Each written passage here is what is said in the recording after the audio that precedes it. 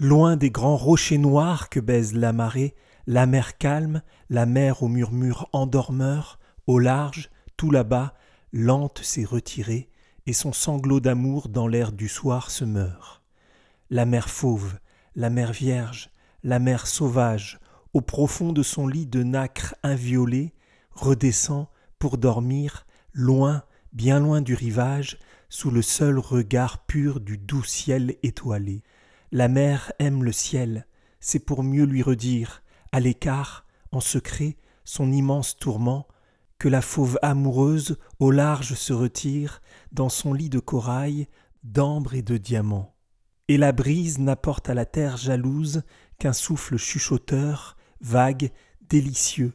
L'âme des océans frémit comme une épouse sous le chaste baiser des impassibles cieux.